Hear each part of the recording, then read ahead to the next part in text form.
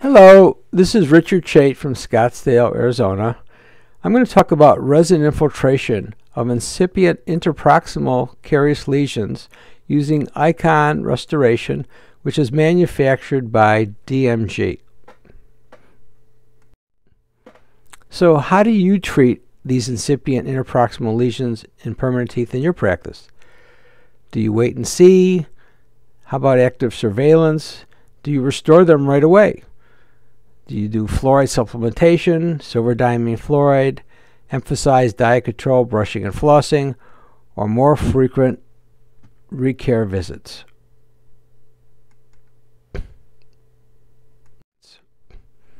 Well, ICON is an option to the wait and see approach.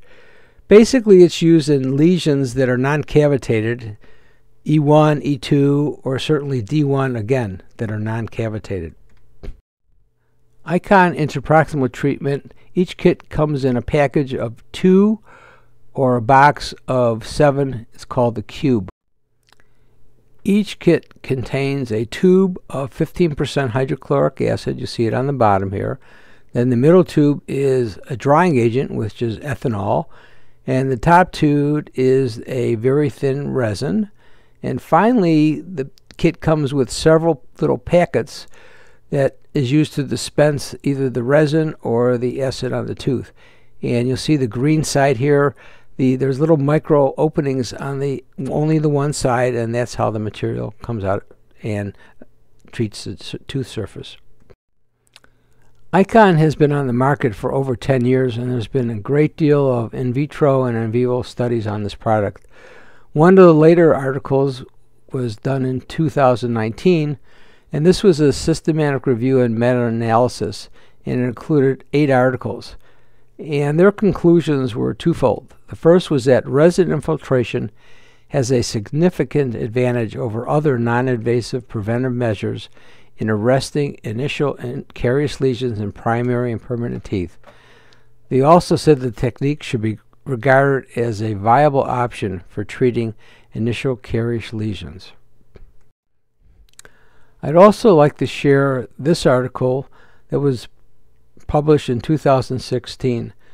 This was a randomized split mouth control study by five German dentists in private practice. There were 87 children and young adults who participated in the study, but there were 238 pairs of proximal caries that were diagnosed radiographically as E2 and D1 and they were randomly assigned to the dentist. Everyone received the same, you know, treatments of fluoride and brushing. The test lesions were infiltrated with Icon, and the controls had mock infiltration.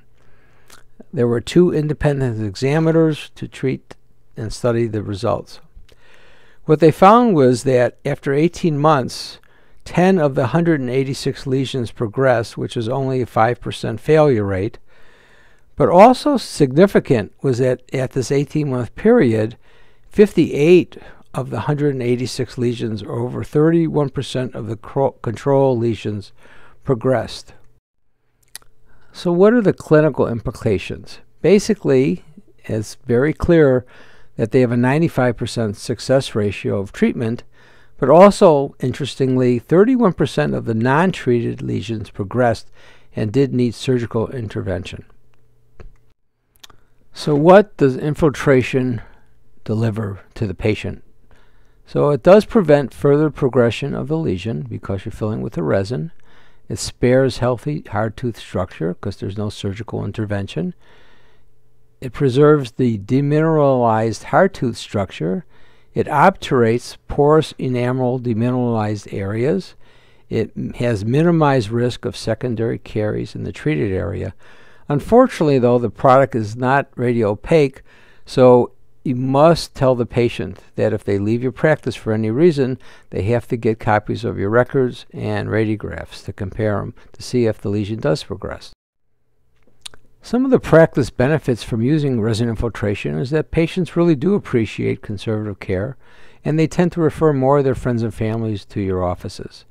The failure rate of the product is very, very low, less than 5%, and the fees to do this, although they may not be covered by insurance, are similar to those of a multi-surface restoration. The CDT code is 2990.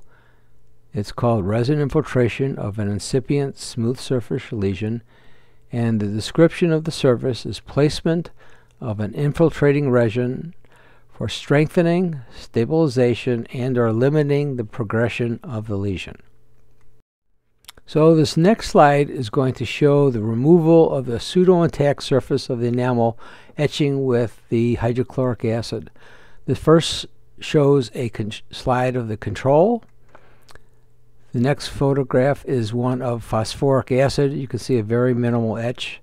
And finally, the etch with the 15% hydrochloric acid. It's, it's a large etch, and it does remove a lot of the surface enamel, maybe about 20, 30 microns.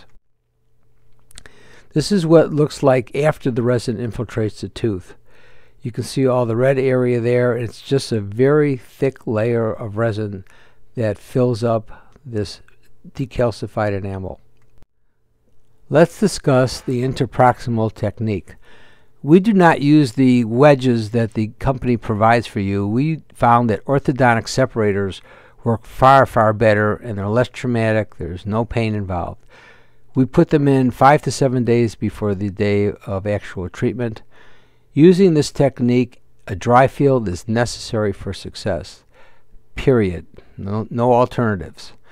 We use a rubber dam and we try to use these flat pedo clamps or adult clamps like a 27N because most of the time we don't have to do local anesthesia. So when the patient comes in, we'll remove the separator, place the rubber dam, and then we, of course, follow the instructions from the manufacturer, which is the two minute etch. We rinse and dry and place the drying agent on the tooth for 30 seconds. Then we dry that. And we use a separate uh, syringe, just has plain air in it. We don't use our air water syringe for these. We place the packet with the resin in the tooth and let it sit there for three minutes. We floss. We light cure for 40 seconds. We replace the resin packet for another minute. We floss again and cure again for 40 seconds. So these are the orthodontic separators that we use. There's a smaller blue one and a clear one which is larger. We always try to use the largest separator we can put in there, but sometimes the contacts are so tight we have to use the blue separator. And we just use floss. And we just floss it in between the teeth and it's important that you get the bottom of the rubber band below the contact, but the top part of the rubber band stays above the contact. This is an example of a flat clamp that we use. This is a pedo clamp, and they have some adult size clamps too, which make them very atraumatic to put on the patient. This next slide shows what it looks like when you take out the rubber band. You can see the soft tissue is normal because we don't leave it in there more than you know a week.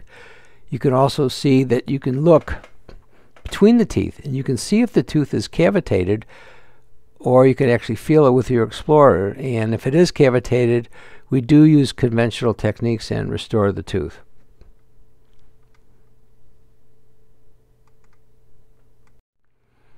And this is a slide showing what the acid looks like in between the teeth. It's a little exaggerated. We normally don't use this much acid.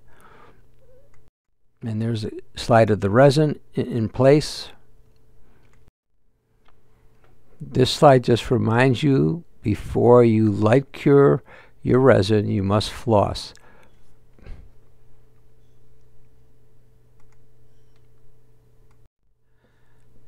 This is a four-year follow-up of one of our patients. We have many, many of these slides, but I just picked one. And you can see the mesial of 31, the distal of 30, and the distal of 29 had E1 to maybe E2 lesions, and then four years later, they look exactly the same. And once again, you do have to remind your patients that they do have to get copies of your records if they go to another dentist. Thank you very much.